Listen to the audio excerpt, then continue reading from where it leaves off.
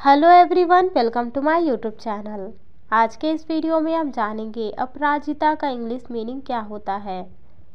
अपराजिता का English meaning होता है butterfly pea. Butterfly pea, example के द्वारा समझते हैं। Butterfly pea flower are used to make herbal tea. अपराजिता के फूलों से हर्बल चाय बनाई जाती है। इसी के साथ आज के वीडियो में बस इतना ही। ऐसे ही डेली वर्ड्स मीनिंग जानने के लिए चैनल को सब्सक्राइब ज़रूर करें। Thank you so much for watching my videos